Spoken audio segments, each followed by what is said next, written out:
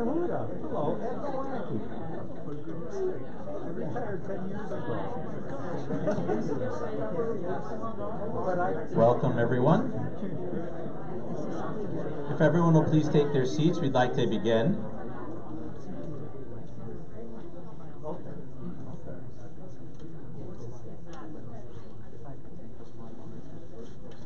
Good evening, everyone. Welcome to Hebrew Union College.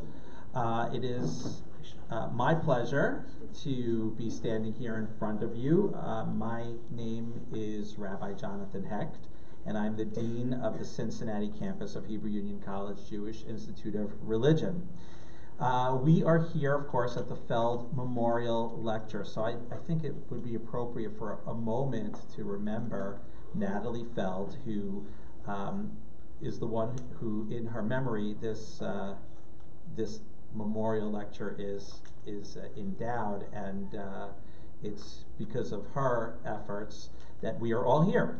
Uh, Natalie Feld was a lifelong resident of Cincinnati. She was a high school math teacher, a businesswoman, and an investor. She was a dynamic, powerful woman and she had loves, uh, passions for photography, for art, music, literature.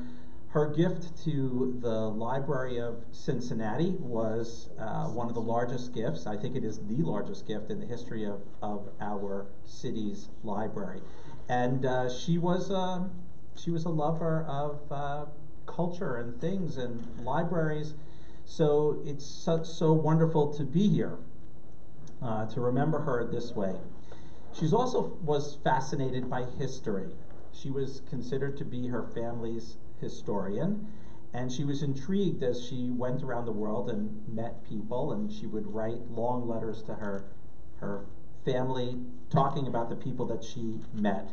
So she was the kind of person who collected and brought together history, brought together culture, books, music, um, she was a great supporter of the arts, the Opera Guild, and uh, the, also the music hall downtown as well.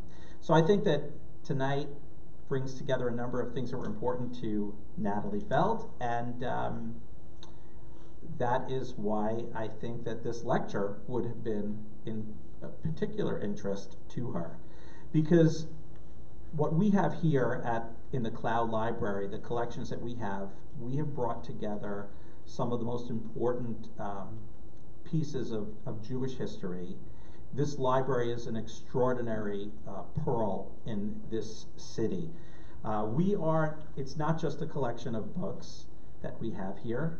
A library, in essence, is a repository for culture.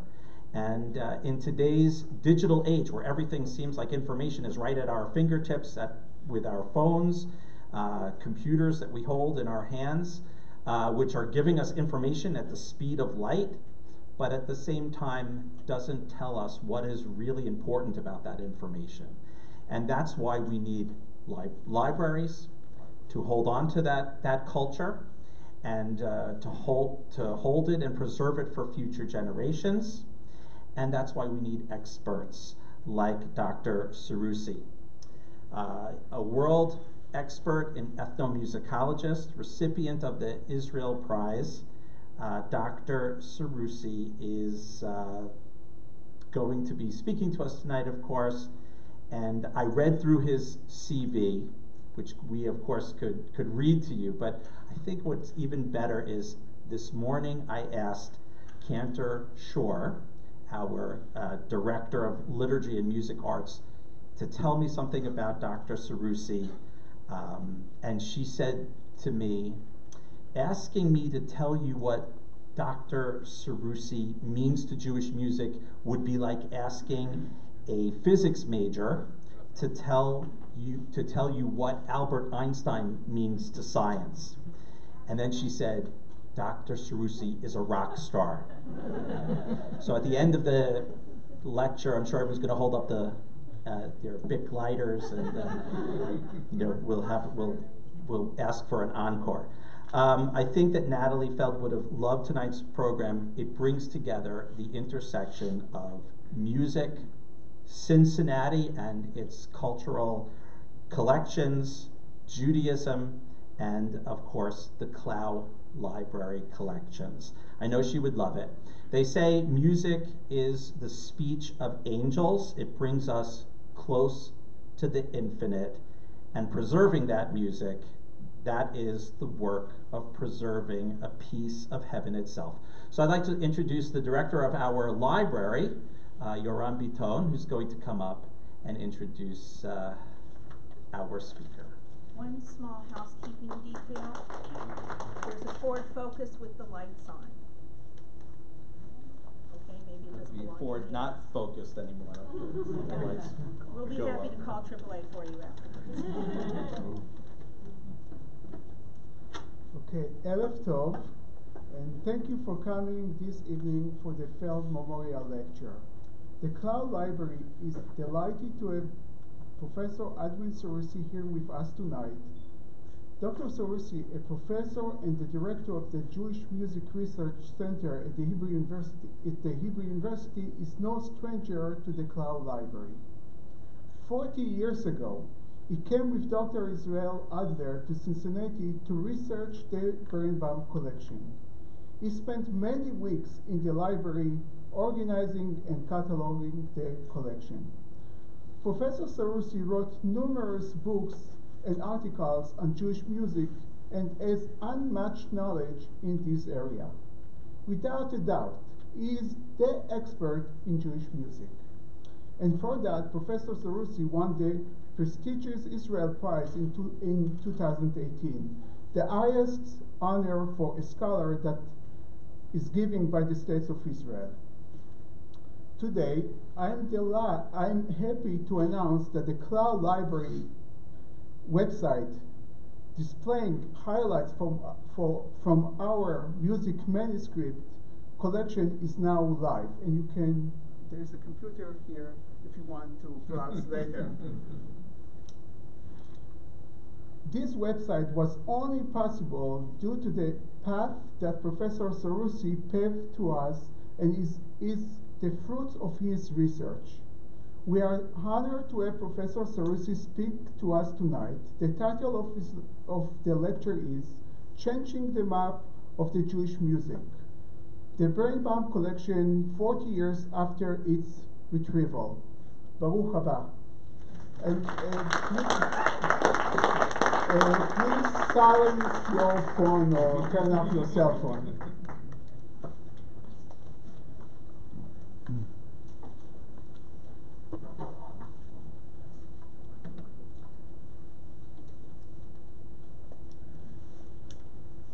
you will soon understand that uh, I am deeply moved to be talking to you today. I lecture a lot, I have appeared in many festive occasions, but this is certainly a highlight uh, in my career. So if my voice is shaking a little bit, please bear with me. On a hot and very humid day of early July 1979, I landed in the USA for the first time in my life. My first impression of this country was, believe it or not, the Cincinnati airport. my first home were the dorms at 3101 Clifton, right in the next building. I remember my room. The goal of this first trip the cataloging of the Birnbaum collection of Jewish music at the Klau Library. It is then understandable why I'm truly moved to be speaking to you this evening. And now that you know the context, Trying to adjust and now that uh, you know the context, you know what the 40 years in the title of the lecture mean. And it is an honor, of course, to be speaking at the Feld Memorial Lecture in memory of the Felds that endowed this lecture. So thank you very much. I want to thank you, the college, all its authorities, and particularly Laurel Wolfson, director of the Klau Library here in Cincinnati, for all her care and all her logistic uh, capabilities to put everything together. Zahor, remember, is uh, one of our basic uh, commandments. Therefore, before I plunge into the subject of this presentation, Edward Birnbaum and his collection of Jewish music, I would like to remember the names of two mentors who are not with us and without whom the Birnbaum collection may never have acquired the publicity it has these days. First, Dr. Herbert Cecil Zafren of blessed memory, and Israel Adler, Professor Israel Adler of the Hebrew University of blessed memory too. Dr. Zafren, the Judaica librarian and historian of early Hebrew printing at Hebrew Union College, Jewish Institute of Religion, in Cincinnati initiated the project of restoration of the Birnbaum collection and its catalog. With the contribution of a substantial grant from the National Endowment for the Humanities, Dr. Zafren was able to enroll Professor Adler, one of the leading musicologists in the Jewish sphere, as musicological director of the project. Professor Adler was himself a librarian by training as well as a musicologist. He founded the Jewish Music Research Center at the Hebrew University in 1964, an institution I am proud to direct since Professor Adler's retirement. I had the good fortune of being offered by Professor Adler as a very but very young graduate student to join him and his wife Michelle for what it turned to be a long and intensive summer of work. An empty HUC campus and a desolated and, and somnolent city of Cincinnati were the ideal setting for dedicating our works to that mission. Masked with anti dust masks, we immerse ourselves in the exciting task of opening boxes after boxes from which the Jewish musical past emerged before our eyes. Score after score, document after document. We were not alone in this task not in the summer of 1979 and not in preceding decades.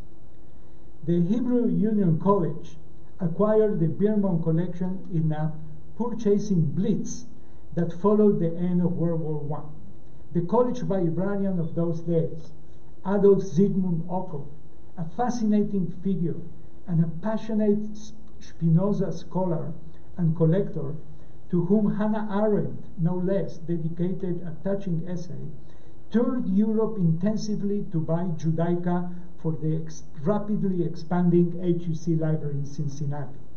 The Birnbaum collection was one of his most precious acquisitions.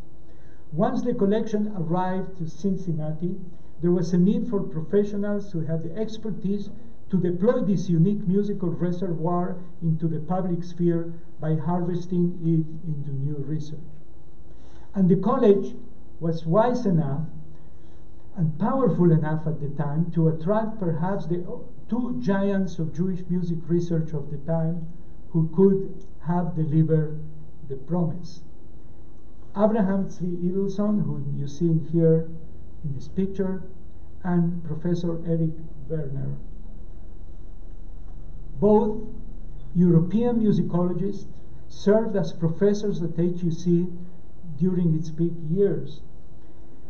Idelsohn, uh, who in fact knew Birnbaum and met him in the summer of 1900 in Königsberg, was in fact recruited by the college with the intention of basing his research and teaching on the Birnbaum collection. He was the first professor of Jewish liturgy in this college and he certainly took advantage of the work of Birnbaum, a man who he never had good things to say. And I quote from the autobiography of Idelsohn. All I knew was that Birnbaum was the successor of the famous Weintraub in Königsberg. I found him steeped in German music, his voice insignificant, his Hazzanut unappealing, and not Jewish. I visited him only a few times. He never instructed me, and he never showed me his collection. so Idelsohn arrives here in 1923. The collection was here for one or two years, and he finally got to see the collection he couldn't see 23 years before in Königsberg.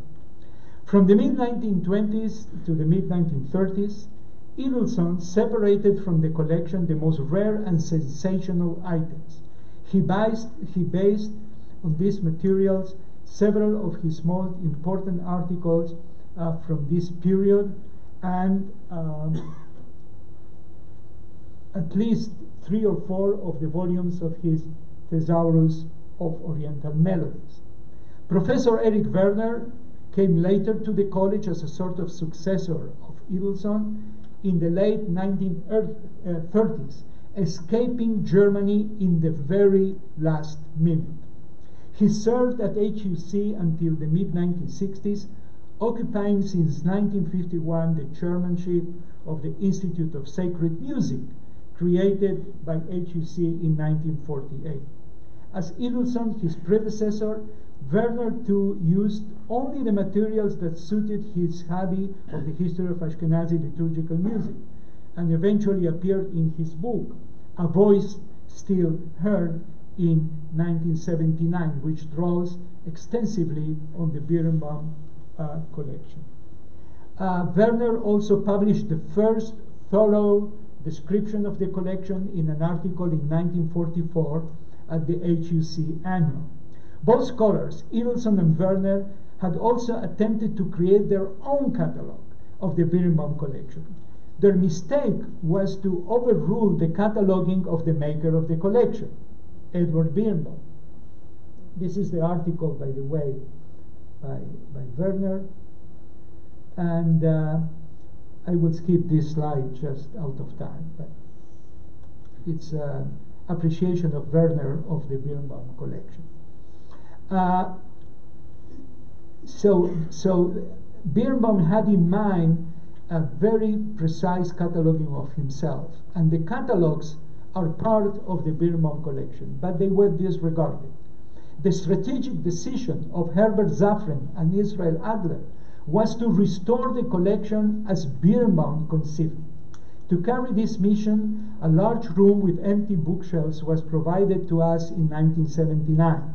This space served us to put back the some 1,500 items of the collection in their original order, as they are still now downstairs in this library, by identifying each item following Birnbaum's own precise listings. To achieve such a goal, we counted with the assistance of the Klau Library staff and several rabbinical students. I shall mention only one of them, one of the most committed ones, a young, jovial, and promising librarian named David Gilbert. David, my dear friend, since then, 40 years, and the staff of the Klau Library continued to work on the Birnbaum collection for many months and even years after Professor Adler and I returned to Israel. The entire collection was microfilmed so that we could work, continue to work in Jerusalem. An extensive exchange of letters between Cincinnati and Jerusalem and some short telephone conversations across the ocean ensured the continuity of the process that we started together. By the way, this is why I remember the 45220 zip code by memory. It's in my brain all the time. So when I got your five, 45220 letter, I said, wow. I remember. remember, this is 1979. No internet, very expensive international phone communications, no digital copies. Everything has to be done still by regular, what we call today, snail mail. I uh, uh, would also like uh, to mention that uh, we have the report of uh, Dr. Jonathan Rogers, who was another important figure in the handling of the collection. This is the report to the NEH, I believe, so he says that the statistics are the uh, uh, approximate number of items 250,000. I think that what Dr. Roger had in mind was pages, that is to say, page by page. Uh, I don't think the collection has 2,500,000, uh, uh, uh, items. Today, as we celebrate the digitization project of the Birnbaum collection, I cherish those pioneer days. However, it is not my purpose tonight to engage in nostalgia, but rather to look forward into what the opening of this collection now in its digital form uh, can do for the research of Jewish music. And in my opinion, uh, what this metamorphosis will have in the future. But meanwhile, I will focus on the 40 years that went from the moment I was here to today that I returned. And following uh, that uh, process, I want to show you some of the advances in Jewish music research that were the result of that visit. Uh, this, uh, uh, uh all these achievements resituated the field of Jewish music, which at the time in the 70s still was a picturesque reserve of Jewish studies and certainly of mainstream musicology, and it was inhabited mostly by practitioners, by cantors, as a turning it into a growingly mature field in its methods, theoretical argumentation, and historical and ethnographical depth.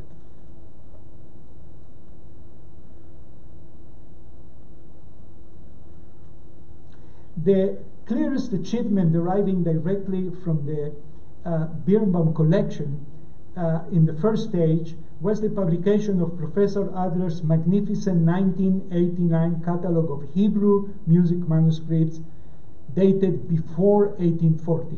And this is manuscript number one of the collection, page number one. So this is the first page of the first manuscript that we saw, and is the first page described by Professor Adler in his uh, catalog. This analytical catalog, which is mostly based on the Birnbaum collection, uh, was uh, succeeded by uh, an another description of the collection by another person that I would like to mention here, Professor John Planer from Manchester University in Indiana, uh, who basically what he did was clarify the extremely complex architecture of the Birnbaum collection for those who wanted to capitalize on it.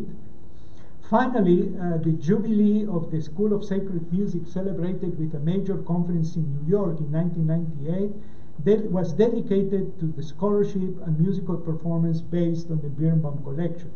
A more, uh, uh, display very similar to this one that I invite you to take a look after we finished uh, was put uh, uh, publicly in New York in 1998 for the first time. Professor Mark Kligman then a faculty member of the School of Sacred Music initiated this event, and since then, even he himself has explored materials from the Birnbaum collection. On a much more personal note, I would like to add that much of my research emanates from the Birnbaum collection.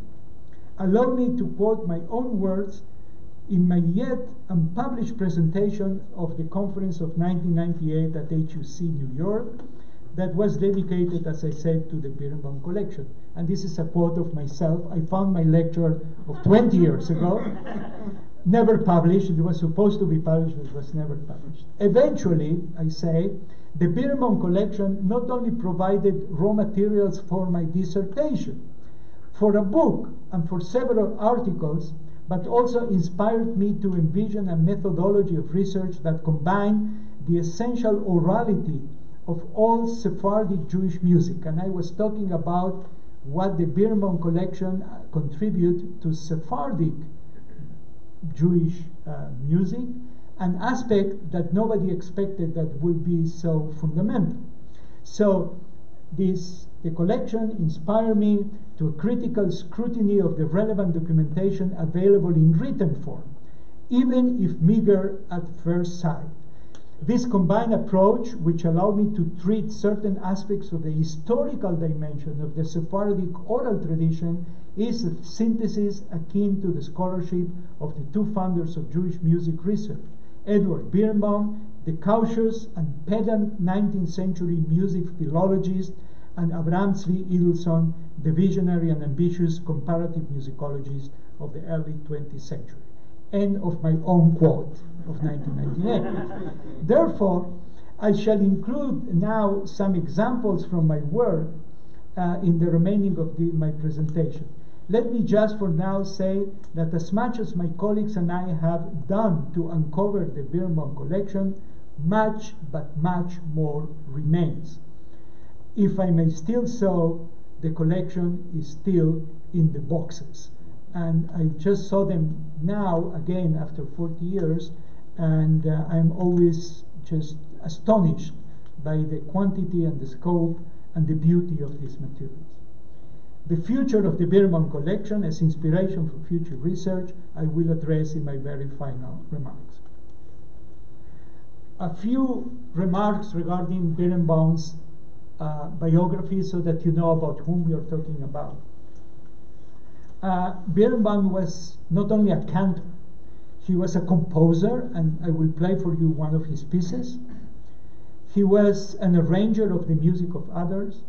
He was, of course, a musicologist, he was a journalist, and he was a teacher. Birnbaum was born in 12 March 1855 in Krakow, Poland. Uh, uh, then, of course, under uh, Austro-Hungarian regime. He studied Hazzanut in several places under the most distinguished 19th century figures, particularly Salomon Sulzer in Vienna, uh, Moritz Deutsch in Breslau, and uh, he took some lessons, as far as I understand, with Samuel Naumbourg in Paris. In, in 1872, I like maps, so I will show you something important in the map. He was appointed deputy cantor of the synagogue uh, uh, of, of, the community in uh, Magdeburg.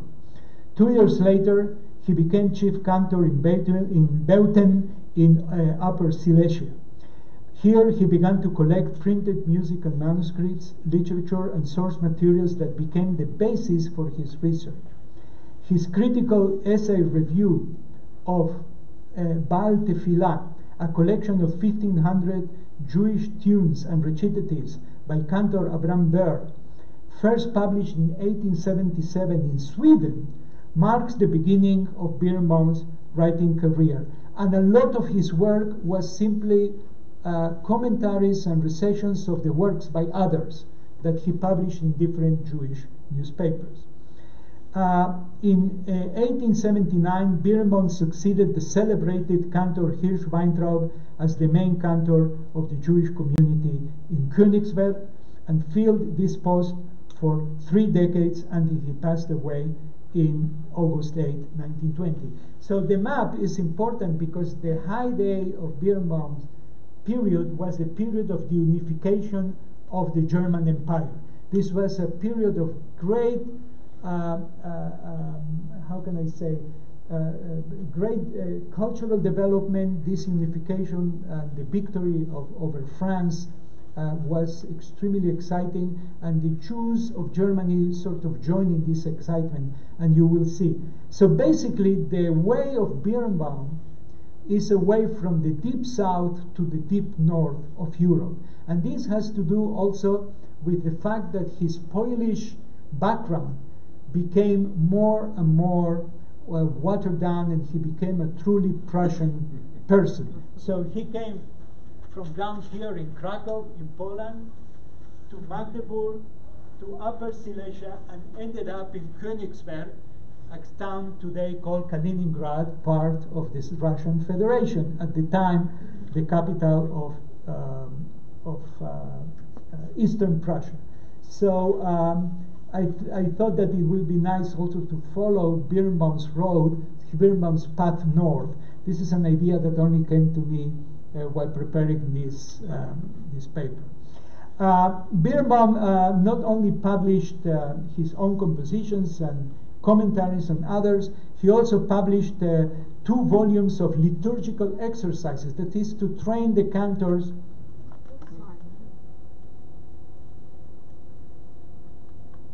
Okay, will come back.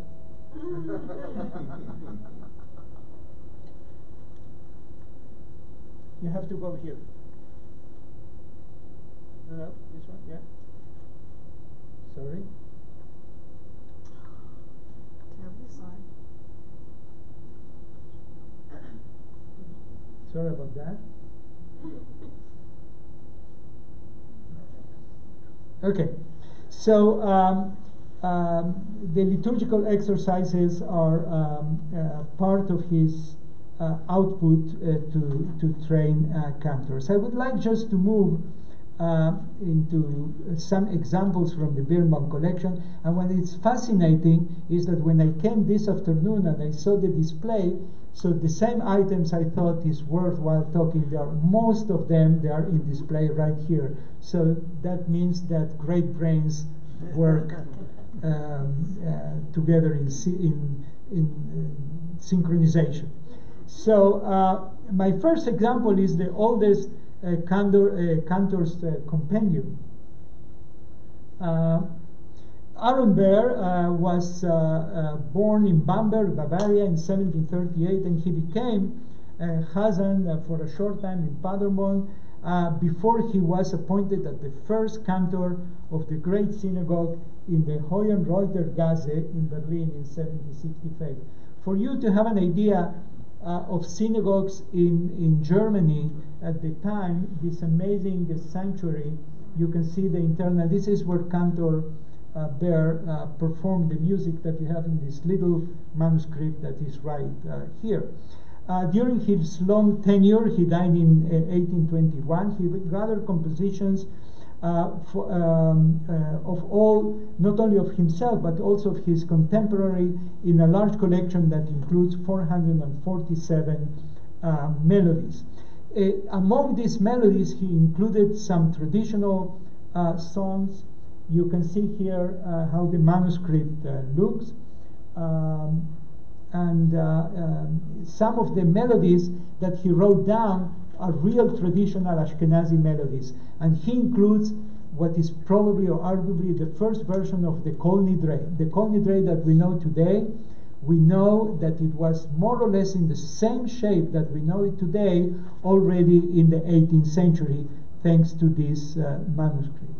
Uh, many of other of these traditional songs, like parts of Maoz Tzur that you know, um, uh, some uh, traditional Kaddishim for Passover, for Shavuot, were perpetuated in oral tradition. So we have, as uh, the manuscript give us an evidence of the continuity of Jewish musical memory. This manuscript was not known to anybody except to this cantor. So he also uh, give us now an opportunity to see how much oral tradition was uh, kept. And if oral tradition was kept for the past 250 years, which were a period of such change, we could imagine that also before that some of these melodies were already extant. So that gives us a point, a reference in history where, he, where we can see or actually hear how the Jewish music tradition was.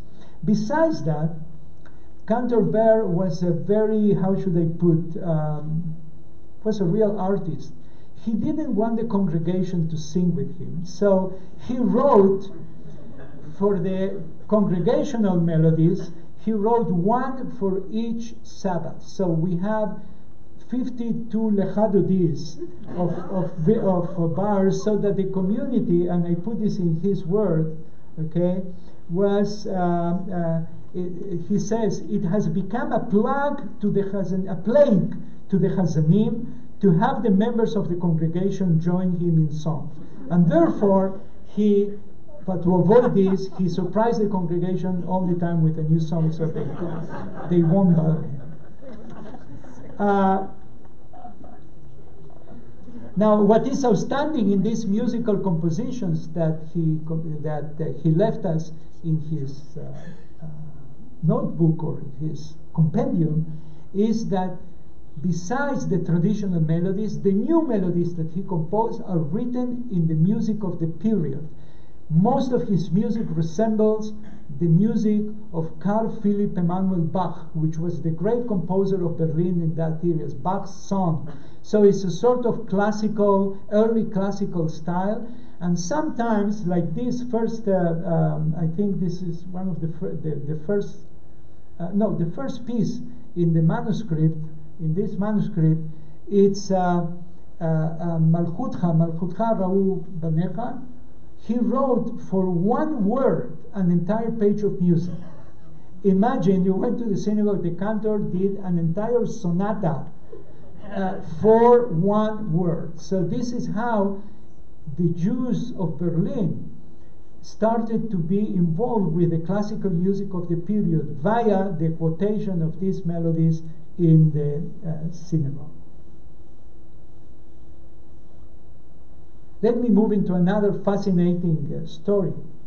This is uh, the city of Esslingen, and the city of Esslingen, there was a cantor called Meyer Levy.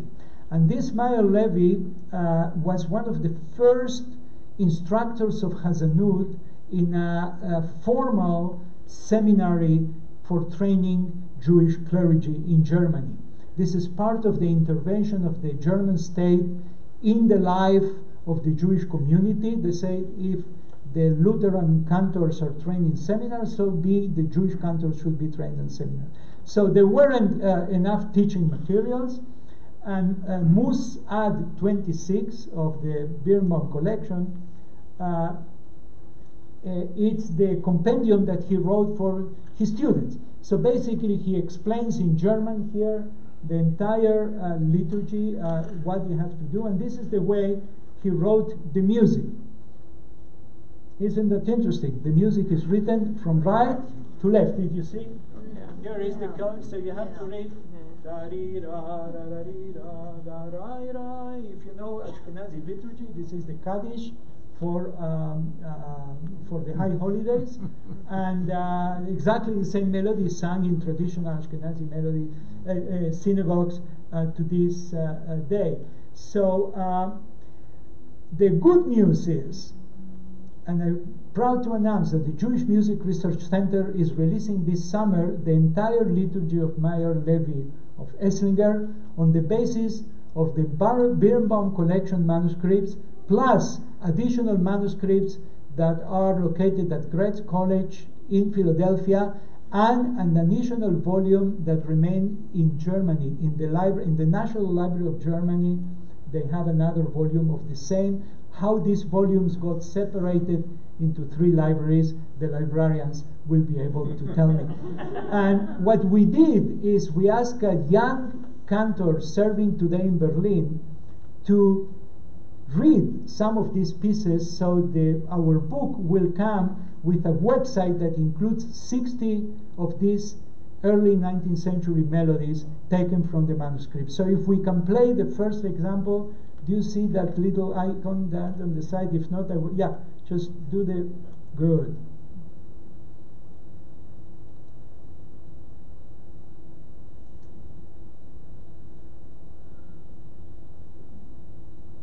There should be volume. No, it's playing, it's playing.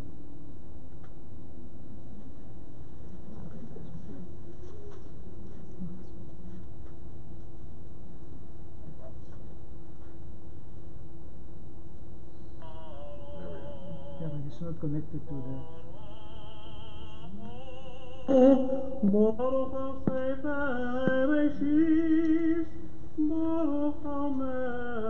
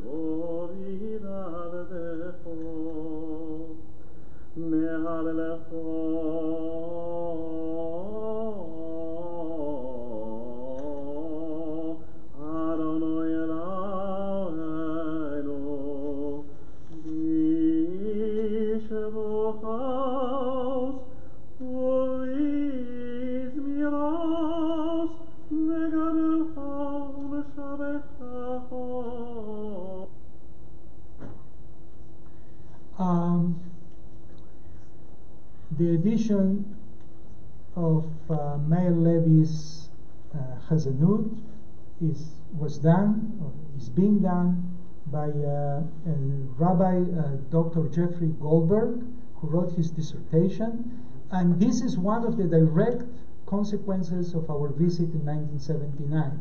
His PhD dissertation based on the Birnbaum uh, collection at 26.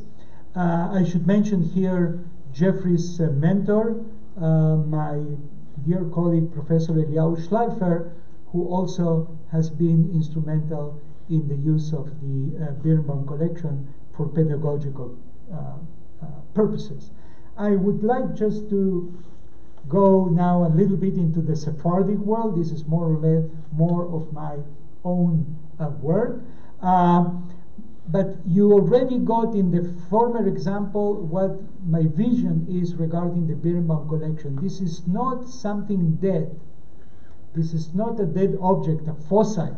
This is a, can be a living collection, at least for reenacting the musical memory of the Jewish people, and sometimes to reenact this music and bring it back to life through performance.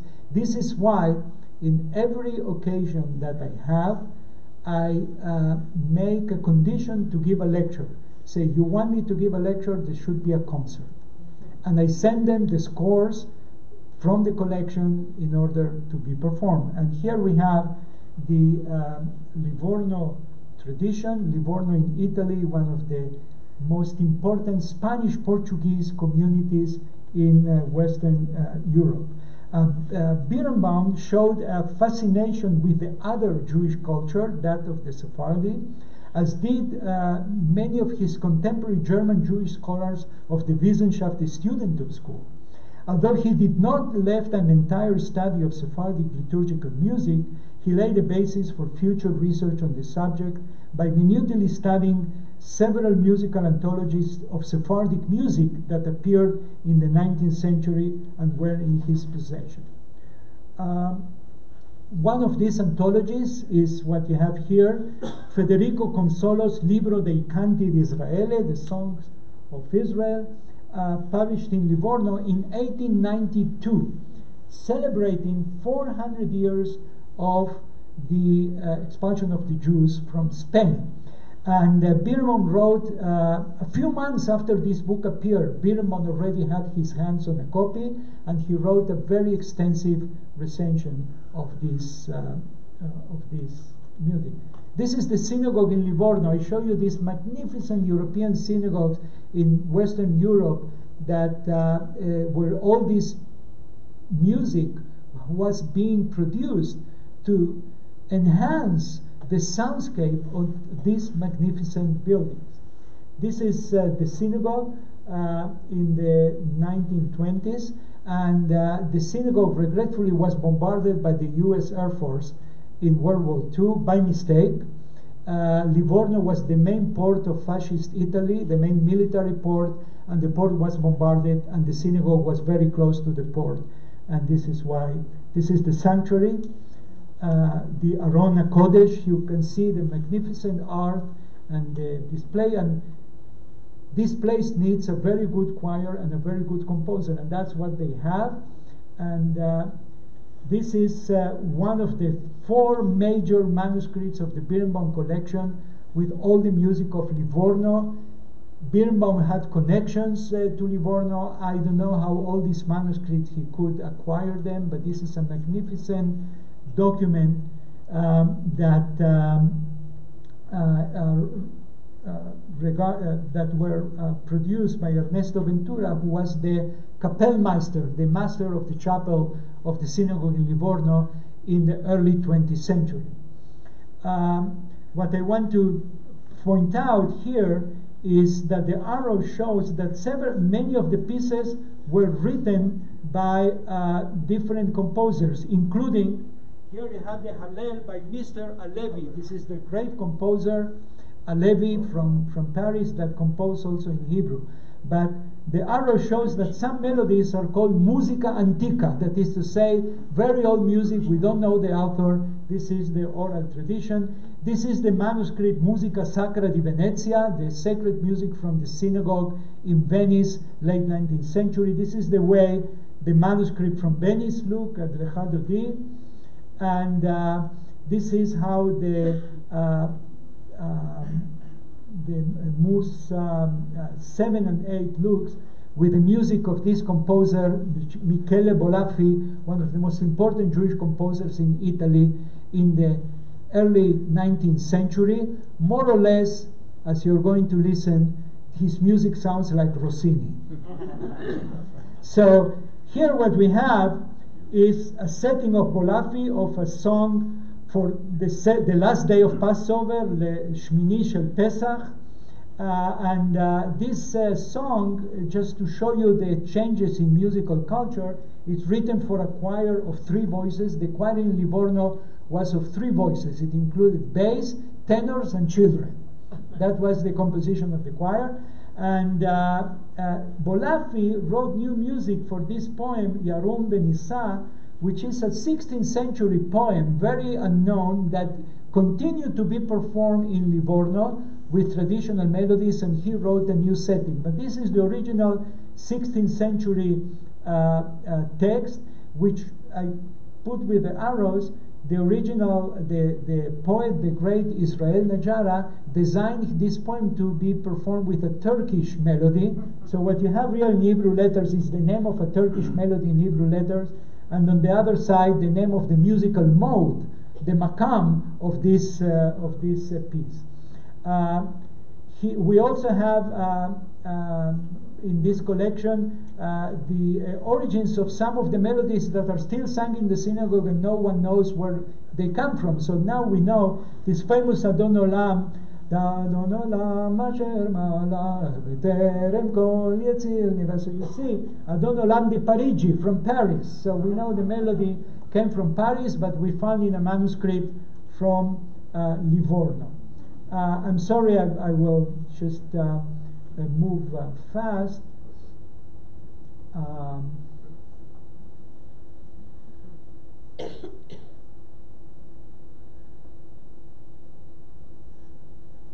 Okay, so let's hear two pieces from this collection. I want you to hear music. I mean, I can talk so long, so much for about all this. Let's play the next bit. This piece is Lecha Dodi uh, from the, uh, the Birnbaum uh, uh, manuscript and is performed by the cantorial students of the Jewish Theological Seminar in Jerusalem under uh, the direction of my wife, Cantor Marlena Fersman, who is here. They did an entire Shabbat service of Livorno based on the Birnbaum collection. So the students relearn all this music and they perform. This is their Lechadodi.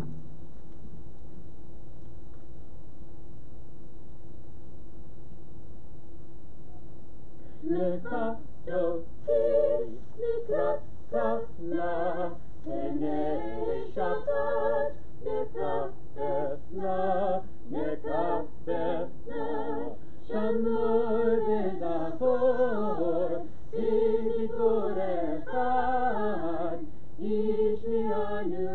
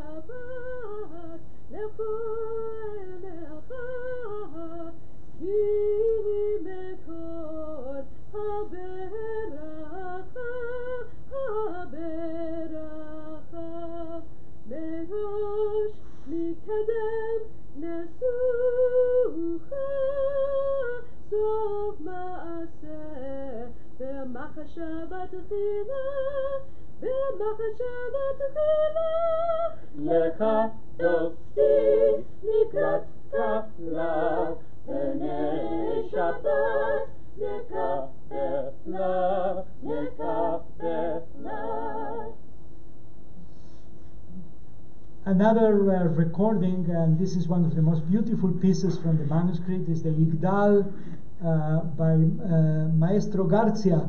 Maestro Garcia was a very uh, secondary composer of opera in uh, Italy. Uh, some of his operas were performed in very good theaters, more or less contemporary of Verdi.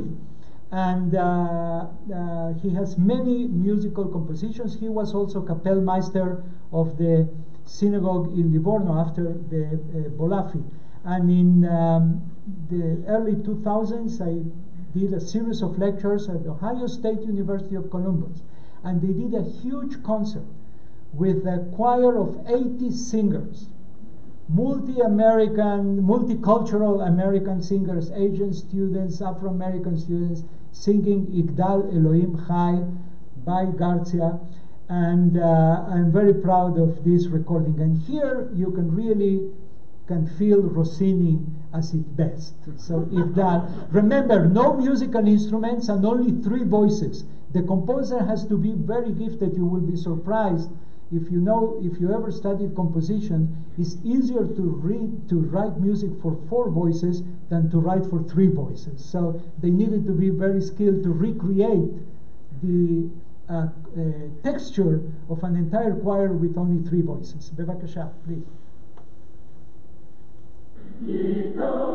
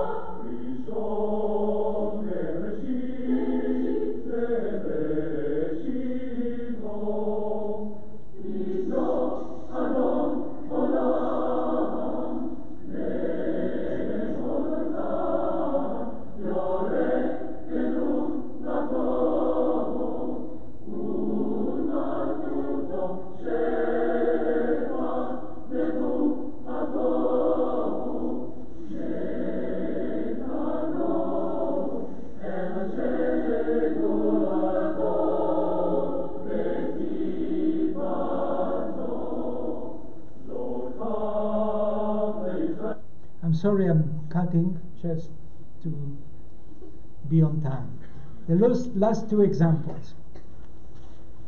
Turkish Jews in Vienna. Okay, so that's my most personal story.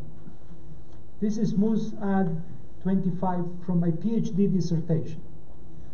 So when I was cataloging this manuscript, I saw this piece, Ahot Ketana, my little sister, which is a poem that is only performed in Sephardic synagogues in the Eastern Mediterranean. It's a poem from Spain from the 14th century, and is the opening for the Rosh Hashanah services on the eve of Rosh Hashanah. Only in the Sephardic communities. What is this doing in the Birnbaum collection? I asked myself. And besides that, you can see this is uh, sort of German handwriting of the 19th century, Sephardic, Sephardische original, original uh, melody, original Sephardic melody. And when I read this music, because usually when I have music in front of me, I immediately sing it internally to myself, I said, I know this melody from, from the shuls in Jerusalem. So to find in a manuscript this melody here in Cincinnati in the Birnbaum collection was really mind-blowing. To make the very long story short, there was a Turkish Jewish community in the city of Vienna from the late 18th century until the 1920s. And this uh, uh, synagogue, uh, which you can see here, was a magnificent construction in the city of Vienna. Now imagine Johannes Brahms, young Mahler are walking in front of a Turkish synagogue in the middle of Vienna. And inside they are performing this Oriental music. However, what emerged from my work here and from other documents that I found is that the younger generation of Turkish Jews, those born around the 1860s, 70s, were already Viennese Jews. They say this Oriental stuff is not good for our ears. Let's hire a real cantor, okay? They hire an Hungarian cantor and a real choir master, and let's put the same melodies into musical notation and arrange them for choir. And this is how these documents reach the Birnbaum collection. The collection was done in Vienna. Birnbaum asked the cantor in Vienna, okay, uh, cantor, uh, this is the publication of, of uh, parts of this manuscript. He asked these two guys, the cantor, Cantor Bauer, and the uh, conductor of the choir, Lowitt, to send him this manuscript. And he said, I will copy and I will return from you. I found the postcards between them. He never returned them. this is why we have the manuscripts. And good that he, Birnbaum used to borrow all these materials, promising that he will copy and return, and he never did. Thanks God. So, uh, uh, we are going to hear uh, the, uh, uh, this, uh, a couple of pieces related to this collection. So if you can play the first example, please, I will tell you what it is.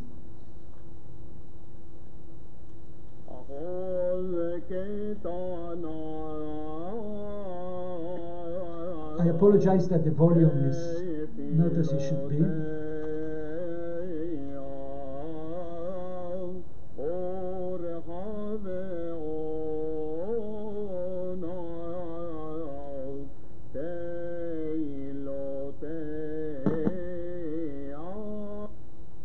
So this is a cantor, a Turkish cantor in Tel Aviv that we recorded singing the very same melody. He doesn't know this manuscript. So this show you again, again the tenacity of the Jewish music uh, oral tradition. And the second example is the HUC choir in Jerusalem. Singing Lecha Dodi from Vienna, from the Turkish community, one of the most ancient Lecha Dodi melodies in existence. Please, the second example.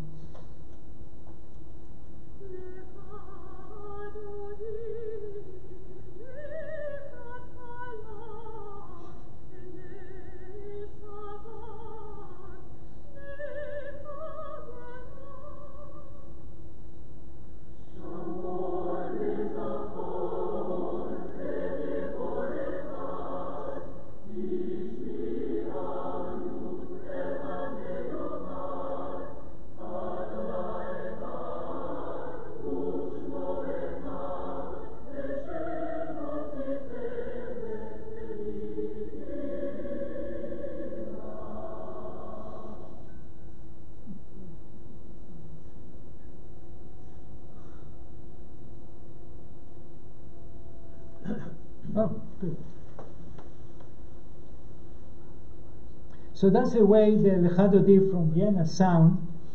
Sound very European, four voice, harmony, etc. But if I sing it to you, that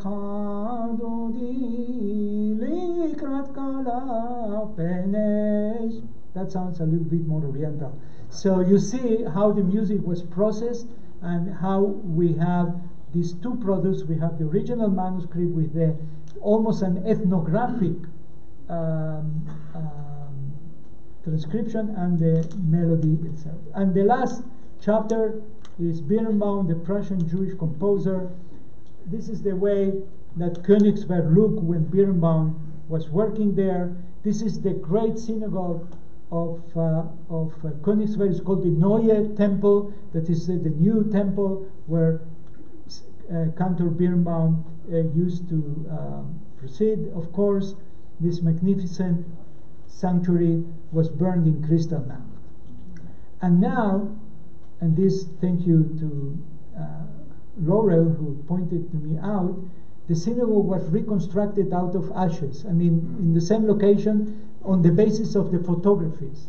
There was a big donation, and the Russian government did a big display uh, a couple of months ago uh, in Königsberg, inaugurating. This is the way the synagogue looks today again.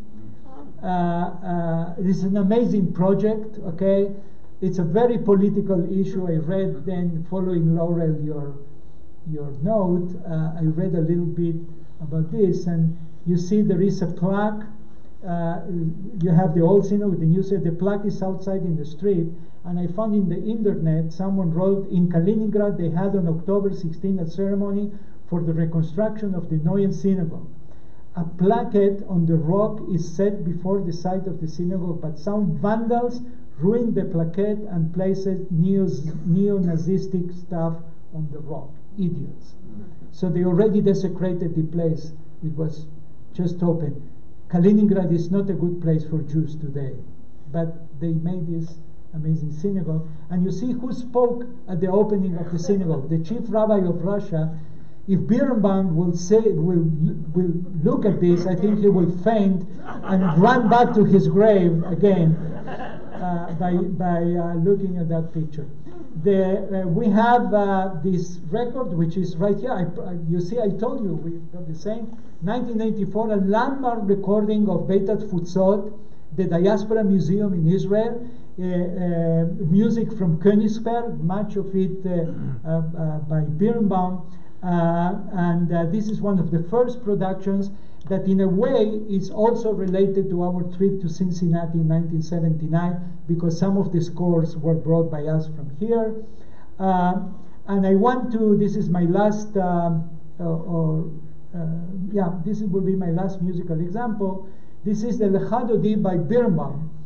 And Birnbaum published his music in the most bizarre places. So many of his pieces are published like a supplement to a newspaper that has nothing to do with music. and this is how this. And uh, I was uh, glad in another uh, concert that I did this time in Toronto in Beit Tzedek, which is great cantor Simon Spiro, a program of synagogue music from German synagogues in the 19th century, mostly based on the Birnbaum collection. So again, you see my efforts to bring this collection back into life. The beautiful Lecha Dodi, this is uh, my own retranscription of what you see here was the original publication. So please, if we can uh, play the piece, the icon is up here.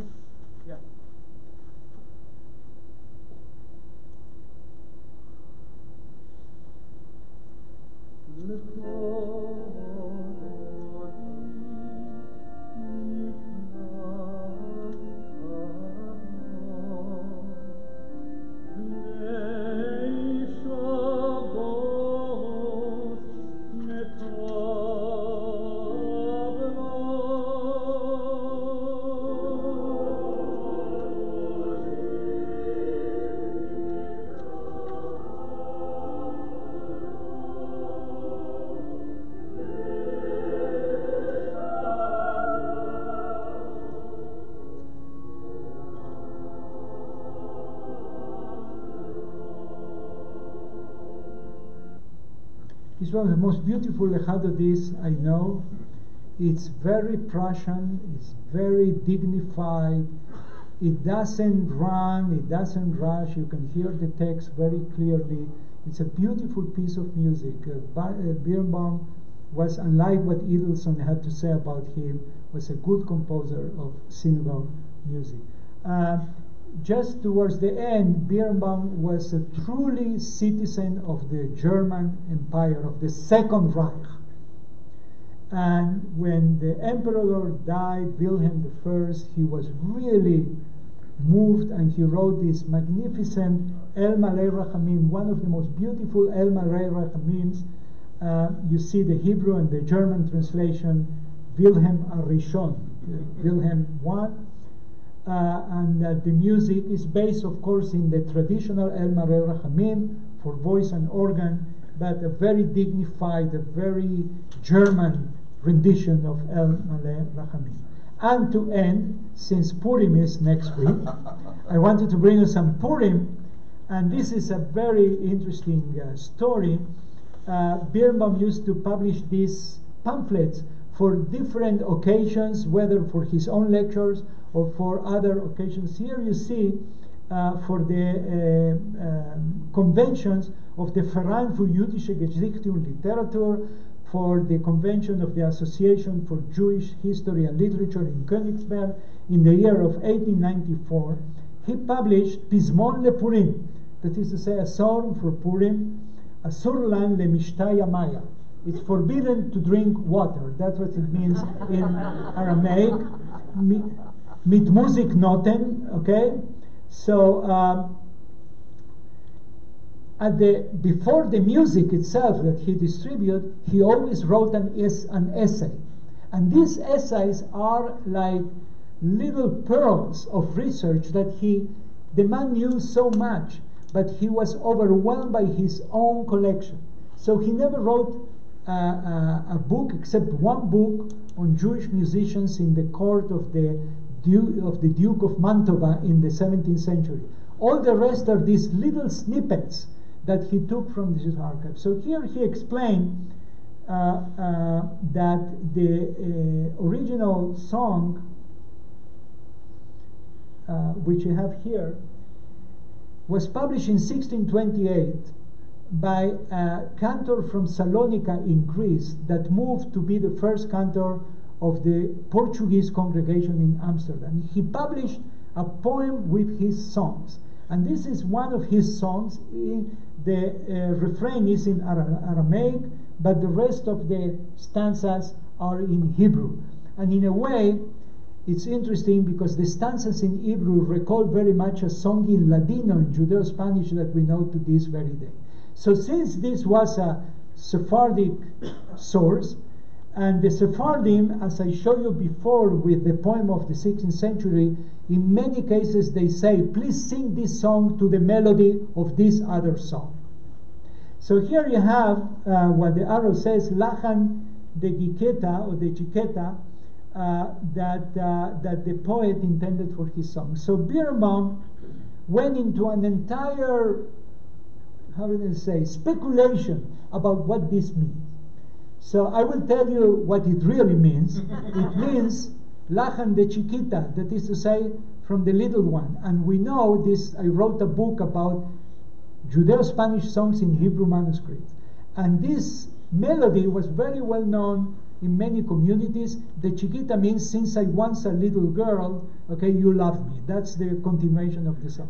But Birnbaum wrote uh, here this entire essay and he read Lachan di Giketa, and Giketa is a jig, you know, a jig, a little jig. And then he says, this little jig, uh, in the whole Sephardic music that I know, I only find this melody in this rhythm of the, of the jig, which is a dance, a Spanish dance. I find it only in the Song of the Sea, the Shirat Hayam, of a source that you can see here is another book here of the Birnbaum collection. This is the 1857 publication of the Spanish Portuguese litur- liturgy by Cantor Aguilar and the Sol- Cantors Aguilar and de Sola, the cantor of the Portuguese synagogue in London. So here you have the melody, and Birnbaum took the melody, which a transposition, and put the words to the melody and make the people in the convention sing this song for Purim. now, uh, what is most interesting, I, you always learn from Birnbaum, and I knew this pamphlet because I read it 40 years ago, but now I read it again, and I always learn something new from him. So he writes in the middle, this melody, that is to say, the Shira melody, the melody for the Song of the Sea of the Portuguese Jews, is quoted in a composition by this Danish composer, okay, uh, uh, Asger Hamerik in seine jüdische Trilogie for Orchestra. A, a, Jewish trilogy, a symphonic poem, which I didn't know. I confess, I thought, I always think I know already everything. It's a new piece written in the 1880s. You won't believe when this piece was, where this piece was wrote. This piece was wrote in Baltimore because this Danish composer came to the United States to be at the Peabody Conservatory in Baltimore, and that's where he wrote this Jewish piece. I don't know who commissioned this piece, but he's quoting the same melody, okay, in the ending of this um, um, uh, symphonic poem that he wrote as a song of triumph, uh, uh, a march of triumph. So I will end with music as I always end. First of all, on the right, I will just play a few bars of my dear friend, cantor Danny Halfon, from, who, who was cantor in London, singing the original melody, and then the symphonic poem, and all this is tied by Edward Birnbaum. So let's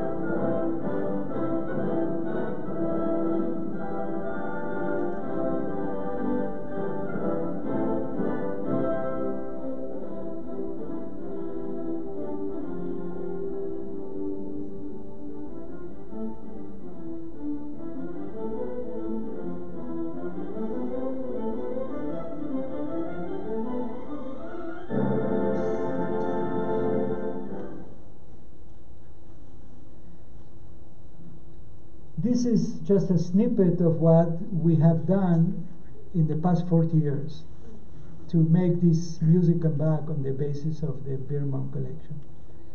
My appreciation is that what we have done is a drop in the ocean. So much is left for the coming generations to pursue what we have started in the past 40 years. The collection is here.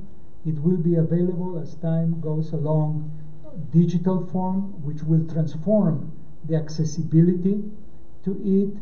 And I'm sure that many, many other obscure corners of the Jewish musical culture, as we just heard this symphonic poem, uh, will emerge in the future. And uh, I really hope that the first 40 years is just the prelude to the coming 400 years of the Birnbaum collection. Thank you very much.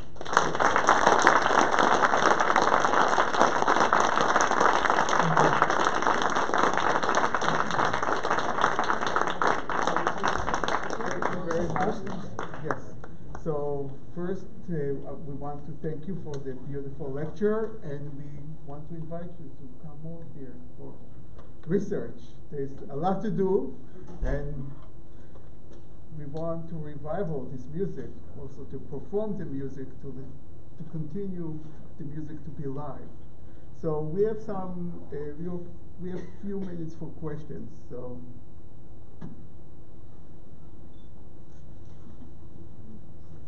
Is there any sort of catalog of all the articles and books that have been, and, and, uh, and recordings that have been made based on the Birnbaum collection?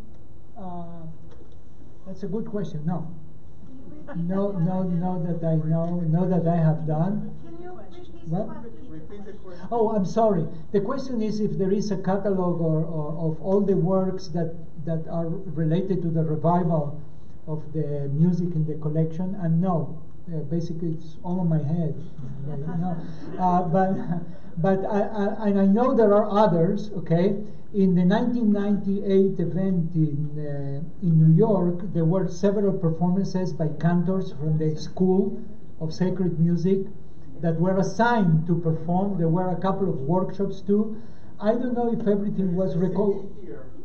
Yeah, the program, but did, did we record something? Yes, a CD. Okay, The CD is okay, okay. So there are some recordings, and uh, then uh, sometimes I have done in my seminars, you know, I just gave the students one of the pieces uh, to, to be performed, but uh, a, a catalog, uh, no. So we we are hope to include in the future music that belong to the Birnbaum collection. So a few years ago, Mark Glickman, that was a professor in New York, recorded music with the students. So we have the music, but we want to continue to perform the Yeah. music, not only to have a website with the uh, music, also to perform the music. Yeah. So, for example, the 60 pieces from the Meir um, Levy of Esslingen will be accessible online through the Jewish Music Research Center, and certainly you will be able to hear that through the HUC um, uh, website because we are also envisioning through digital platforms much more collaboration in terms of sound. Because basically who cares where the file is located okay? The issue is if you have access where you have to it to, to have it. I don't know how much the national sound archive of israel has of uh, birnbaum's music. Um, i remember with eli schleifer we did uh, when we came back from cincinnati i gave a, a lecture my first i think I think my first academic lecture was on the Birnbaum collection, 1980 in Jerusalem, and Professor Schleifer was um, kind enough to perform a couple of, uh, of pieces. I can't remember what he performed. So we, um, we certainly may have more. The National Sound Archive of Israel 60,000 hours of recording is, is all accessible in digital format. All. Big chunk of it can be heard online from anywhere in the world. For the rest, you will have to come to Jerusalem to the building of the library because, for the reasons of copyrights and many other reasons, the music is accessible in the building. But all our collection, 60,000 hours, is available to the public and this is amazing too because uh, like the musical memory of the jewish people is alive on, on record and you heard one of these recordings the turkish cantor that's from our archive The last piece, it, it, I didn't catch where it originates from. The, the Az Yashir Moshe. the Az Yashir Moshe the- not the Portuguese, I mean, the song, i- the same melody is used in London and in, in Yeah, yeah, it's loads, yeah, it's uh, in different variants. Well, let me tell you this. Birnbaum writes about that. so he he says that, and this is true. Cantor di Sola, who produced this book, in the introduction to the first edition of the melodies, because the second edition was published in the 1930s, the community decided to take the amazing introduction that the cantor wrote. He says literally, this is the melody that the children of Israel sang when they came out from the sea. You know, are, are you referring to Manginot? to Manginota, Manginota Atikot. Okay? And I wrote a big article about this. It's called a Manginota Atikot, that's the name of my art. Regretfully, still in a foreign language called Hebrew. And, uh, really, I, my friend requested a, a translation of it once, so I made him a very quick one. Oh, really? Like very quickly, I, I Oh my gosh. typed him one very quickly. I have to do, uh, yeah, well, years ago, but I, I, I remember him.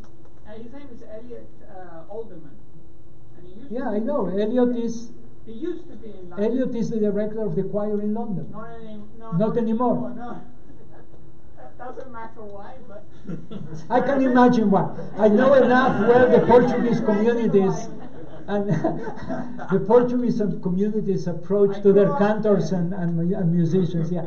But okay, we, we won't go down. This is not there. I, I But thank you, thank you. please send me my own translation if you have. but but but that's what de Sola writes, and what but basically what de Sola is basing himself, and this is interesting, uh, is that he says what I'm saying. It's written also by a 14th century Spanish scholar, and I think that what de Sola is referring is to the uh, Perush to Shirat Hayam by Yitzhak Abarbanel. That Abarbanel writes a very obscure piece about the Shirah, and uh, until now, some rabbis said we, we don't know exactly what he's trying to describe there. In my opinion, and I think that's what de Sola had in mind, that he is talking about this melody. But this is another lecture. However, Come back and give it. yeah, I, I- it's a lecture on Shirat Hayam. But, but what the so, what uh, Birnbaum is saying, this is, you know, it's a fancy story. It has nothing to do. This is a Spanish jig from the 17th century. So his assumption is as wild as the assumption of de Sola that this is the melody. But certainly, it's a very ancient melody. It's a very ancient melody maintained not only in the Portuguese communities but also in Morocco. So that means that also in North Africa, that gives us a certain sense that this melody really goes back, if not to Moses, certainly to the Jews who left Spain in 1492. That's not a wild assumption to make. I think people have to go. I wanted to thank everyone for coming and making this event such a success. This, this exceeded our expectations, and we're so happy to have you all here for this Feld lecture. And before you go, I just wanted to acknowledge the many people who helped make this possible. I mean, of course, of course, Professor Seroussi, but in the library staff, almost everyone was involved in technical aspects in the exhibit and with the exhibit. Most especially, I want to recognize Jardana Gertler Jaffe, Hannah Wolfson, and Abigail Katz, who have worked nonstop on the exhibit. But everyone in the library and in other departments um, in our what is it, outreach and community outreach departments and our maintenance department, everyone worked hard to make this event the success that it obviously is. And we are delighted and we hope that you'll come back for our next Feld lecture. We don't know the topic yet, but it will be sometime next spring, we hope. And stay for a bit, talk to each other, walk around, enjoy some of um, the goodies we have, and come back and use the library. We welcome you with open arms. We would love to have you come and research all of our collections. Use it. Our stacks are open. That's unusual in a library like this. Come, browse the stacks, ask a librarian. We're here to help you. We want to help you. We'll enrich your lives and you'll enrich ours. So thank you and good evening.